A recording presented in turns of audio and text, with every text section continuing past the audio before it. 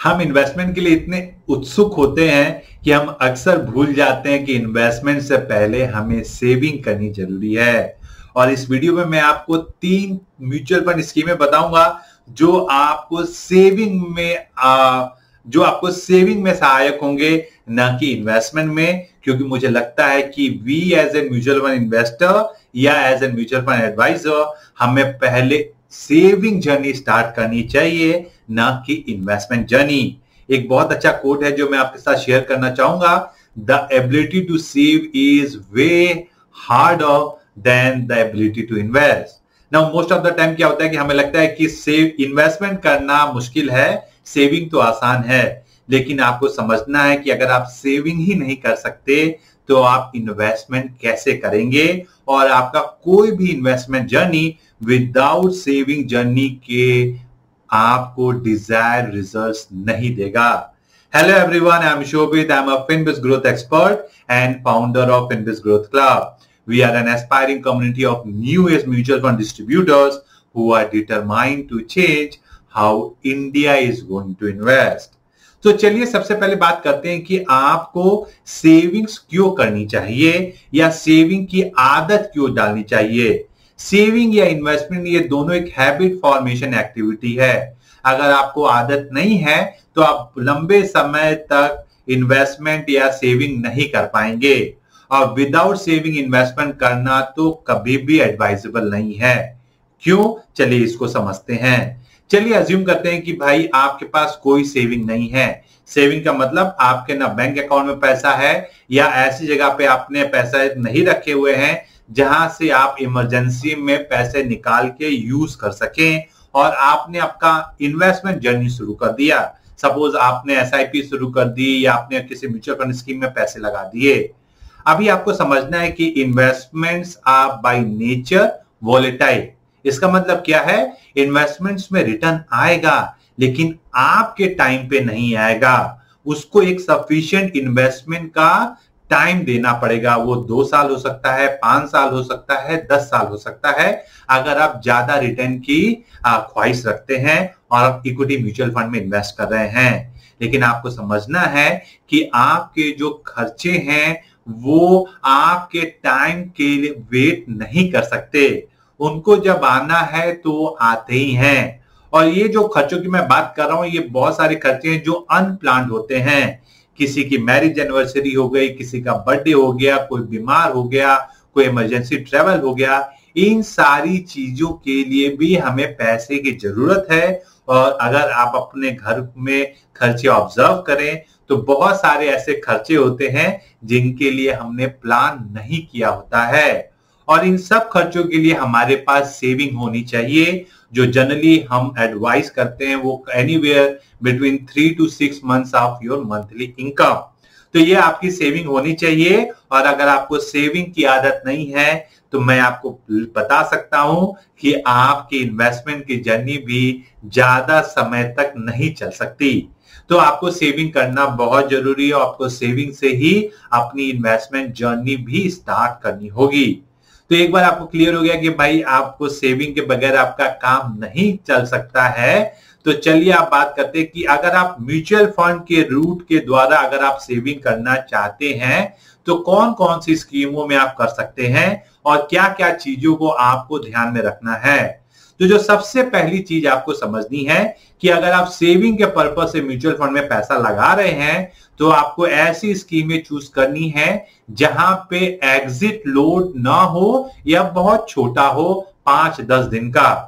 Exit load क्या होता है? ये वो चार्जेस होते हैं जो म्यूचुअल फंड कंपनी आपके इन्वेस्टमेंट में लगाती है। अगर आप स्टेपुलेटेड टाइम या जो टाइम तक मिनिमम इन्वेस्टमेंट पीरियड है उससे पहले अगर आप पैसा निकाल रहे हैं, आपको यह ध्यान रखना है कि अगर आप सेविंग पर्पज से पैसा म्यूचुअल फंड में लगा रहे हैं तो ऐसी स्कीमों में लगाएँ जहाँ पे एग्जिट लोड कम हो। दूसरा, आपको ऐसी स्कीमें चूज़ करनी है जहाँ पे रिस्क बहुत कम हो या नेग्लिजिबल हो। तो मैं आपको दो तीन स्कीमें बताने वाला हूँ जहाँ पे आपका जो रिस्क है इन स्कीमों में वो काफ़ी हद तक कम होता है और तीसरी चीज़ जो आपको याद रखनी है वो ये कि लिक्विडिटी बहुत ज़्यादा हो। लिक्विडिटी ज़्यादा होने का मतलब क्या है? आपको ये समझना है कि जब भी आपको इमरजेंसी में पैसे चाहिए हो तो ये स्कीमों से आपको तुरंत पैसे मिल जाएँ। तो ये तीनों चीज़ों का अगर आप ध्यान रखेंगे और इस चीज़ों को ध्यान रखिए अगर आप म्यूचुअल फंड में पैसे लगाएँगे तो ये आपके सेविंग्स के लिए भी ऑल्टरनेटिव हो सकता है। जो अगला क्वेश्चन आपके दिमाग में आना चाहिए वो ये कि अगर मुझे सेविंग करनी है तो मैं बैंक में क्यों ना करूँ? मैं क्यों म्यूचुअल फंड को चूज़ करूँ? जहाँ पे रिस्क का भी एलिमेंट होता है। अगर आप ये सोच रहे हैं तो मैं आपको ये बता दूँ कि आपका सेविंग बैंक से ये अच्छा अल्टरनेटिव इस तरह से हो सकते हैं कि ये आपको या तो बेटर रिटर्न दे सकते हैं, या आपको बेटर टैक्स आर्बिट्राज दे सकते हैं। ना जो भी पैसा आप अपने सेविंग्स अकाउंट में रखते हैं, आपको ये पता होना चाहिए कि दस हज़ार से ऊपर जो भी इंटरेस्ट उस पर आता है, उस पर आपको टैक्स देना है अपने टैक्स लैब के थ्रू मतलब जो भी आपका टैक्स लैब है, उसके हिसाब से आपको अपने इंटरेस्ट पे टैक्स देना है। वेर इज़ म्यूचुअल फंड में जो अगर आप वो पैसा रखते हैं तो वहाँ पे आपका जो टैक्स बनता है, वो स्कीम के फीचर या एसेट क्लास के ऊपर निर्भर करता है और कितने टाइम के लिए आप वो पैसा उसमें रख रहे हैं, उस पर निर्भर करता है।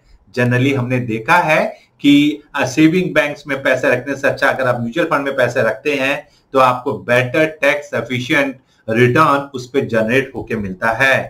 तो जब से पहली स्कीम मैं आपके साथ डिस्कस करना चाहता हूँ, जहाँ पे आप सेविंग पर्पज से अपना पैसा रख सकते हैं, वो है आर्बिट्रेज फंड चलिए मैं आपको थोड़ा डिटेल में बताता हूँ। आर्बिट्रेज फंड्स वो फंड होते हैं जहाँ पे फंड मैनेजर इक्विटी डेरिवेटिव्स और डेट को मिला के एक पोर्टफोलियो बनाता है, जहाँ पे जो रिस्क है इक्विटी का, वो काफ़ी हद तक नेग्लिजिबल होता है। क्यों? क्योंकि यहाँ पे जो डेरिवेटिव का रोल है वो ये कि आपका जो इक्विटी का एक्सपोजर है, उसको वो काफ़ी हद तक एक डाउन साइड को प्रोटेक्ट करता है इन टर्म्स ऑफ़ हेजिंग करके। आपका जो रिटर्न आता है आर्बिट्रेज फंड्स में, वो डेट फंड्स या लिक्विड फंड्स या आपके बैंक फिक्स्ड डिपॉजिट के बहुत आसपास आता है। लेकिन बेनिफिट ये है कि आर्बिट्रेज फंड्स में आपको इक्विटी का टैक्सेशन मिलता है। तो जो आपका एक्चुअल रिटर्न आपके हाथ में आएगा, वो आपको बैंक फिक्स डिपॉजिट से अच्छा आएगा। ना एक एग्जांपल अगर आपको समझाऊं सपोज़ आपके सेविंग्स बैंक अकाउंट में आपको चार परसेंट मिल रहा है और आप एक थर्टी परसेंट टैक्स लैब में हैं तो चार परसेंट का चार परसेंट का थर्टी परसेंट क्या होता है? वन पॉइंट टू परसेंट आपका टैक्स में चला जाता है।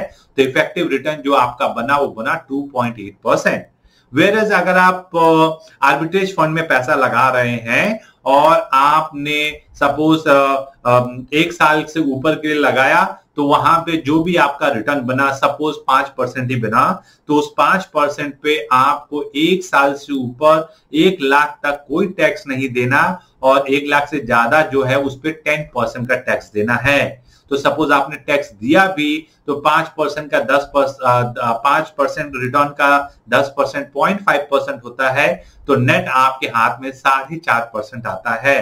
तो ये आपको समझना है कि यहाँ पे आपका जो टैक्स आर्बिट्रेज है वो बेटर होता है और रिस्क उतना ज़्यादा नहीं होता है। आपको एक इफ़ेक्टिव ईल जो है आपके हाथ में बेटर बन जाती है।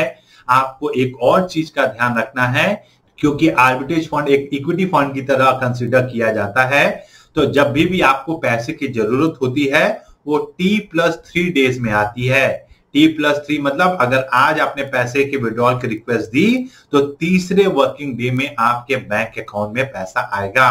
तो ये चीज़ों का अगर आप ध्यान रखेंगे तो मुझे लगता है कि आप आ, एक अच्छा इन्वेस्टमेंट आर्बिट्रेज फंड को यूज़ करने के लिए। अगर आप हिस्टोरिक रिटर्न देखें तो लास्ट वन ईयर में मोस्ट ऑफ़ द अच्छे आर्बिट्रेज फंड ने आ, चार साढ़े चार परसेंट का रिटर्न दिया है। अगर आप बैंक एफडी से कंपेयर करें तो ये एक अच्छा ऑल्टरनेटिव आपके लिए हो सकता है। प्लीज़ इन्वेस्टमेंट करने से पहले ऑफ़र डॉक्यूमेंट को पढ़ लें और एग्जिट लोड के बारे में पता कर लें बिफोर आप आर्बिट्रेज फंड में इन्वेस्टमेंट करने क्या सोचें। जो दूसरा म्यूचुअल फंड स्कीम जो मैं चाहता हूँ आप कंसिडर करें अपने सेविंग कॉर्पस को बनाने के लिए, वो है लिक्विड फंड या ओवरनाइट फंड ना लिक्विड फंड्स ओवरनाइट फंड्स क्या होते हैं? ये एक ऐसे फंड्स होते हैं जहाँ पे रिस्क एकदम नेग्लिजिबल के समान होता है, लेकिन जो आपको रिटर्न आता है, वो आपको अपने सेविंग बैंक अकाउंट से थोड़ा बेटर आता है या इक्वलेंट आता है। यहाँ पे सबसे अच्छा फीचर क्या है? यहाँ पे आपको इंस्टेंट रिडम्शन फैसिलिटी का ऑप्शन मिलता है। इसका मतलब क्या? कि आपको सपोज़ रात के 12 बजे भी पैसे की ज़रूरत है तो वहाँ पे आप जो है पैसा इमीडिएट विड्रॉ कर सकते हैं और वो आपके बैंक अकाउंट में पैसा आ जाता है। तो एक अच्छा फीचर है, आपको लिक्विड फंड और ओवरनाइट फंड में मिलता है, जिसको हम ओवरनाइट जिसको हम इंस्टेंट रिडम्शन फैसिलिटी बोलते हैं। इसके कुछ रेस्ट्रिक्शंस हैं, वो भी मैं आपको बता दूँ। अगर आप लिक्विड और ओवरनाइट फंड में पैसे लगा रहे हैं और आप पैसे निकालना चाहते हैं तो मैक्सिमम इन 24 आवर्स में आप पचास हज़ार रुपए निकाल सकते हैं और 90 percent of your investment value तो अगर आपने चालीस हज़ार रुपए इन्वेस्टमेंट किया हुआ है या चालीस हज़ार रुपए आपके इन्वेस्टमेंट की वैल्यू है तो आप थर्टी सिक्स थाउज़ेंड रुपीज़ आप किसी एक वर्किंग डे में निकाल पाएँगे।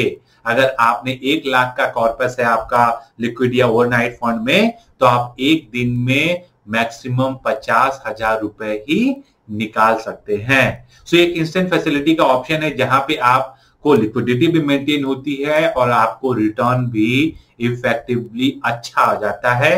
का जो मार्केट सिनेरियो है जहाँ पे interest rate on the rise है आपको लिक्विड फंड में अपने बैंक फिक्स डिपॉजिट से बेटर रिटर्न आगे तीन से छह महीनों में मिल सकता है। अगर आप लास्ट एक साल का रिटर्न देखें लिक्विड फंड्स का तो एनीवेयर बिटवीन चार से चार चालीस चार परसेंट से फोर पॉइंट फोर परसेंट के बीच में है और ये आपको अपने सेविंग्स बैंक अकाउंट का एक बेटर ऑल्टरनेटिव दे सकता है।